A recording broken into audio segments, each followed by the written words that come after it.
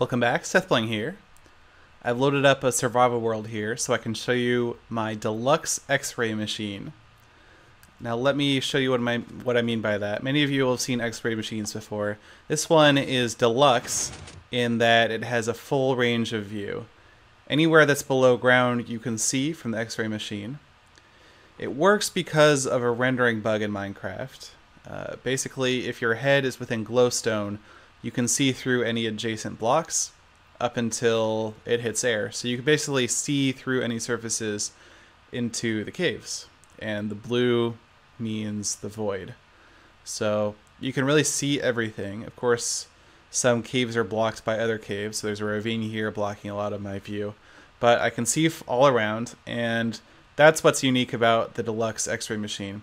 Uh, to get out of the machine and turn it off, I go stand on this red pressure plate and it looks really cool.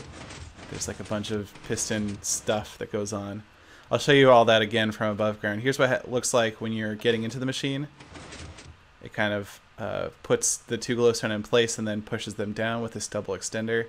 And then there's a whole lot of machinery and that's where all the bulk of this machinery comes from in order to get those two glowstone out of the ground without having any pistons underground. Because if you have any pistons underground, it blocks your your point of view.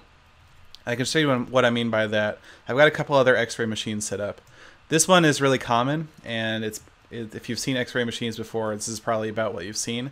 Uh, basically, it works by just you hop down and um, extend a couple pistons, and you can see having these pistons down here means that uh, I can't see in this direction.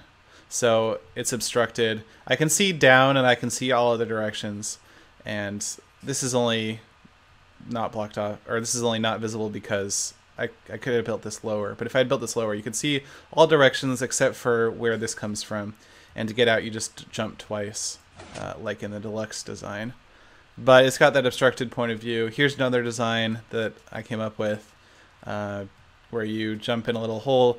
It's got a little bit of a better range of view because the pistons are just a little bit farther away, so I can see more in this direction and, and more around those pistons, and I can see all other directions, but it's still blocked a little bit. And uh, there's one final design I want to show you here, and you can download this world to see all of these designs. Uh, but this one is is like the deluxe in that it has full range of view, but it's not um, it's not perfectly reusable. Every time you use it, you have to run up and place a sand right here.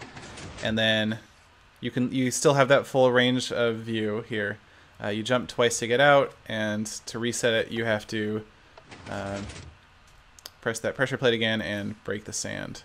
So what's going on with this one is when you place the sand and, and jump in, um, the sand falls on your feet and it's able to collide with your body and then the pistons push the glowstone on top of your head. So this hole is entirely filled in, and that's that's what's important for the X-ray machine. I'll show you one more time.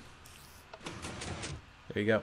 And so that's got that's got a good range of view, but it's just not resettable, which is the whole purpose of the deluxe machine.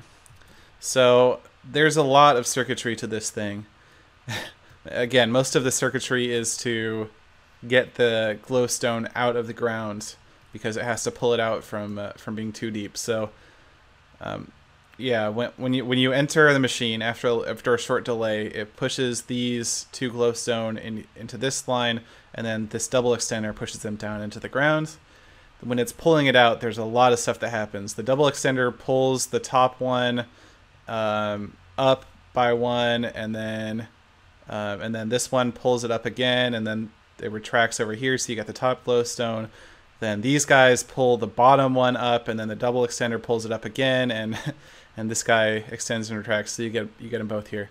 I think it looks really cool, actually. Though it looks kind of like I don't know a, a car assembly line or something with all the precise machinery. Looks really cool when it's pulling everything out. I love watching that. Anyway, like I said, you can download all this and uh, and see exactly how it works. Now this thing is gigantic, and I'm sure it could be compacted, and I would actually love to see how compact people can make a machine like this, a deluxe machine that's resettable without having to dig up sand or whatever.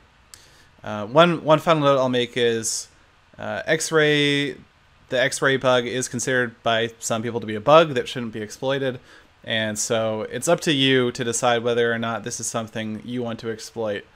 Um, but it is out there, and I thought for anyone who who is interested in exploring the mechanics of the X-ray render bug, uh, I thought this was a pretty cool device. That's about it. Thanks for watching.